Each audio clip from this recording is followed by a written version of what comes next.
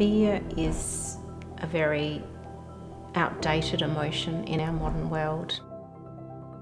Probably the scariest thing I've ever done and the most courageous thing I've ever done was to decide to back myself. I first set my private practice up when I was pregnant with my first child. I didn't want to have to put them into childcare, so for me, I needed something that was really, really flexible.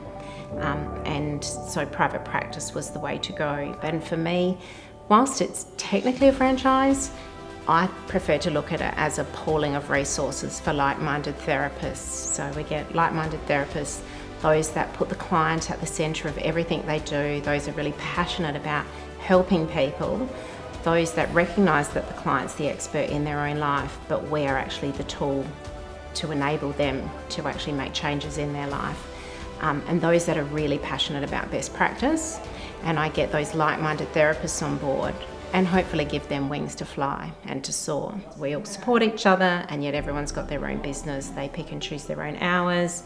They can follow their areas of passion in terms of occupational therapy, what field of OT they'd like to work in. For me, it's not about the numbers.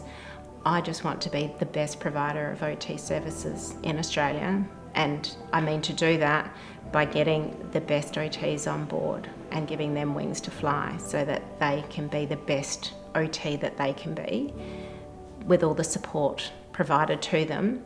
Um, and that's how I plan to achieve it.